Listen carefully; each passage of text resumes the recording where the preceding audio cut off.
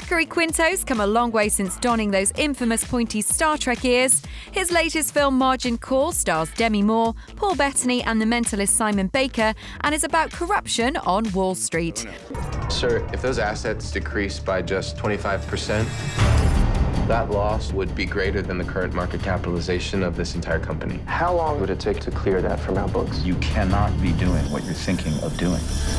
Should be interesting to see what kind of reception that gets during the current Wall Street protests. However, Quinto, who recently came out, says he's grateful for all the public support he's received for his personal life. I feel so incredibly grateful to all of the people who've reached out to me directly or indirectly or just in spirit, and uh, I feel really, really like. Um, like my entire future is laid out in a different way, and uh, and it's thrilling and scary and uh, overwhelming. But I feel like I'm stepping into it, and and uh, I'm trusting myself, and I'm supported by people. And there've been people on this path that were much bigger trailblazers than me, who did this at a time when it was even harder. And eventually, it won't be hard at all because it won't really matter.